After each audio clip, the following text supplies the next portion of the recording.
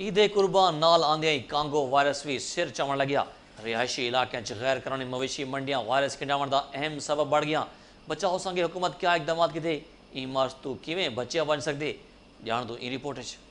Congo virus ਜਾਨਵਰਾਂ ਤੋਂ ਖਿੰਡਣ ਲਈ ਜਾਨਲੇਵਾ ਬਿਮਾਰੀ।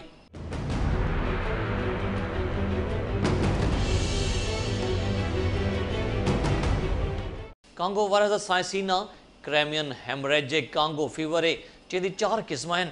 ਕਾਂਗੋ ਵਾਇਰਸ ਦਾ ਕੀੜਾ ਚੀਚੜ ਮੁxtਲਿਫ ਜਾਨਵਰਾਂ ਦੀ ਜਿਲ ਤੇ ਪਾਤਾ ਵੇ ਇਹ ਕੀੜਾ ਜੇਕਰ ਇਨਸਾਨ ਨੂੰ ਚੱਕ ਮਾਰ ਗਿਨਿਆ ਜਾਨਵਰ ਕੋਹਣ ਵੇਲੇ ਬੇਇਹਤਿਆਤੀ ਦੀ ਵਜ੍ਹਾ ਤੋਂ ਕਸਾਈ ਦੇ ਹੱਥ ਤੇ ਚੱਕ ਮਾਰੇ ਤਾਂ ਇਹ ਵਾਇਰਸ ਇਨਸਾਨੀ ਖੂਨ ਵਿੱਚ ਸ਼ਾਮਿਲ ਥੀ ਵੇ ਕਾਂਗੋ ਦਾ ਮਰੀਜ਼ ਤੇਜ਼ ਬੁਖਾਰ ਵਿੱਚ ਮੁਬਤਲਾ ਥੀ ਵੇ ਉਹ ਕੋ ਸਿਰ, ਦਰਦ, ਉਲਟੀ, ਭੁੱਖ ਚ ਕਮੀ, ਨਿਕਾਹਤ, ਕਮਜ਼ੋਰੀ ਤੇ ਗਨੂਦਗੀ, ਮੂੰਹ ਵਿੱਚ ਛਾਲੇ ਤੇ ਅੱਖੀਂ ਸੁੱਜ ਵਜਨ ਤੇਜ਼ ਬੁਖਾਰ ਤੋਂ ਜਿਸਮ ਵਿੱਚ ਵਾਈਟ ਸੈਲਸ ਦੀ ਤਦਾਦ ਬਹੁਤ ਘੱਟ ਥੀ ਵੇਂਦੀ ਹੈ ਜੈ ਨਾਲ ਖੂਨ ਜੰਮਣ ਦੀ ਸਲਾਹਿयत ਮੁਤਾਸਰ ਥੀਂਦੀ ਹੈ ਮੁਤਾਸਰਾ ਮਰੀਜ਼ ਦੇ ਜਿਸਮ ਤੋਂ ਖੂਨ ਨਿਕਲਣ ਲੱਗਦੇ ਤੇ ਕੁਝ ਹੀ ਅਰਸੇ 'ਚ।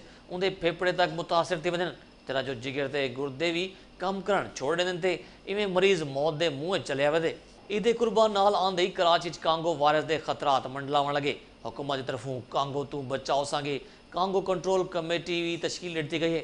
टीम दे सरबराह डॉक्टर जफर मेहदी आदन मवेशी बांडेज स्प्रे ते जानवरां दी वैक्सीनेशन संगे مات بھی کتے ویسن۔ ایک ایڈوائزری جاری کی جا چکی ہے اور تمام منڈیوں کے اندر ہمارے بینرز وغیرہ بھی لگ چکے ہیں۔ اس کے علاوہ ہمارے جو ڈسٹرکٹ ہیلتھ آفیسرس ہیں، ان کو بھی ہمارے سیکرٹری ہیلتھ صاحب کی طرف سے ہدایات ہیں کہ اپنے اپنے علاقوں کے اندر آپ جو ہیں اس کی پریونشن کے بینرز وغیرہ لگائیں پمفلیٹ بانٹیں۔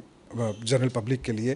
اس کے علاوہ ہم نے اخبارات کے اندر بھی کافی جو ہے اشتہارات دیے ہیں۔ ڈاکٹر ظفر مہدیدہ آخر جو وائرس مریض تو صحت مند بندے کو بھی متاثر کر سکتے کانگو تو بچن ساگے جانور دے، وپاری کسائی جانوراں دی ایک بال کرنا لے تمام بندیاں کو چاہیے جو وہ دستانے تے گاؤن پاون۔ جو منڈی جا رہے ہیں وہ کم از کم فل سلیوز کے کپڑے پہنے ہلکے رنگ کے کپڑے پہن کے جائیں تاکہ اگر کوئی وہ ٹک ان کے اوپر جاتی ہے تو وہ نظر آئے تاکہ وہ اس کو ہٹا سکیں۔ اور جانور کا معائنہ کریں باقاعدہ اور آپ اپنے ہاتھوں میں گلوز پہنیں۔ ٹھیک ہے نا؟ ماسک کا استعمال کریں۔ پیروں میں شوز اور موزے وغیرہ پہن کے جائیں۔ ڈاکٹر ظفر عوام تے حکومت ملتے کانگو تو نجات حاصل کر سکتے ہیں